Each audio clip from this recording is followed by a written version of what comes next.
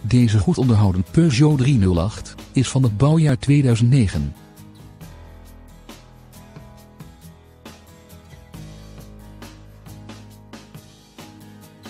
De benzinemotor wordt bediend met een handgeschakelde transmissie met vijf versnellingen.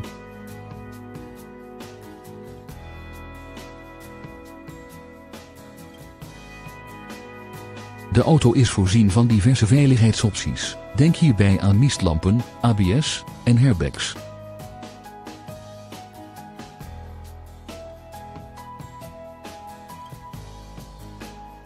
Tevens beschikt deze Peugeot 308 over getint glas, stuurbekrachtiging en centrale deurvergrendeling met afstandsbediening.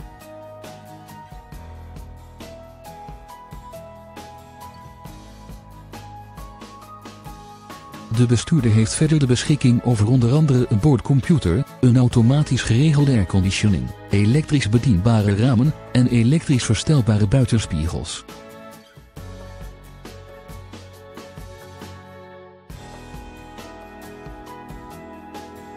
Kom snel langs voor een kennismaking of een proefrit in deze auto. Onze medewerkers staan nu graag te woord.